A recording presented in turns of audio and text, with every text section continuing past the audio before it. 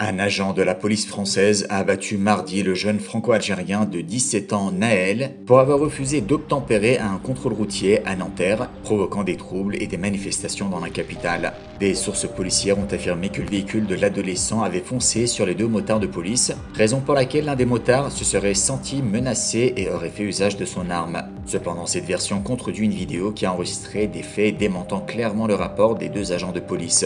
La vidéo circulant sur les réseaux sociaux, vérifiée par l'AFP, a montré que l'un des deux policiers tenait Naël sous la menace d'une arme, puis l'a exécuté lorsque le jeune homme a redémarré. La voiture a terminé sa course quelques dizaines de mètres plus loin, s'encastrant dans un poteau. Naël est mort peu de temps après avoir reçu une balle au thorax. Dans le cadre du code pénal français, la loi du 3 juin 2016 prévoit que les policiers peuvent utiliser leur arme s'ils ont des raisons réelles et objectives pour neutraliser un individu qui vient de commettre des meurtres ou des tentatives de meurtre. Cependant, le cas du meurtre de Naël n'est pas compatible avec le contenu de cette loi car la jeune victime ne menaçait pas physiquement la vie d'un agent ou d'un tiers. De surcroît, avant que Naël ne manœuvre la voiture, on entend la police crier Tu vas te prendre une balle dans la tête. Des affrontements entre la police et les manifestants ont éclaté pour la première fois mardi soir à Nanterre, puis se sont étendus au reste de Paris et à d'autres villes françaises. Les manifestants ont allumé des incendies, ont érigé des barricades et lancé des pétards vers la police, qui a riposté avec des gaz lacrymogènes et des grenades à dispersion.